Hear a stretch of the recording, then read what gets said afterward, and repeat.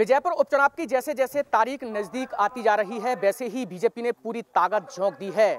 खुद विजयपुर में बीजेपी के प्रदेश अध्यक्ष बी डी शर्मा दो दिन से यहाँ पर हैं और लगातार गाँव में जनसंपर्क कर रहे हैं। सर, क्या माहौल है अभी आप पिछले दो दिन से आप माहौल ज़बरदस्त है। भारतीय जनता पार्टी के पक्ष में जनता का आशीर्वाद मिल रहा है और ये आशीर्वाद जनता जो दे रही है, वो भारतीय जनता पार्टी के विकास को आशीर्वाद दे रही है।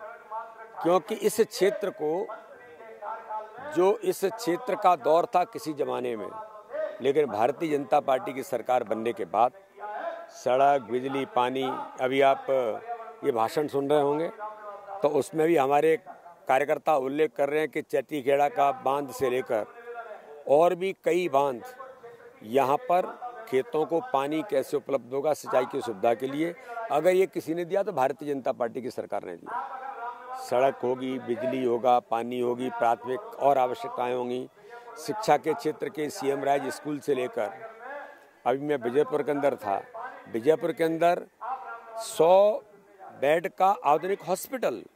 ये विजयपुर और जिस क्षेत्र में आप खड़े हैं यहाँ, इन गाँवों के अंदर इन सुविधाओं को जनता आज देख रही है तो ये देन किसी की है? तो भारतीय जनता पार्टी की सरकार की है। इसलिए जनता विकास पर मोहर लगाने वाली है। भारतीय जनता पार्टी का विकास का कमल खिलेगा।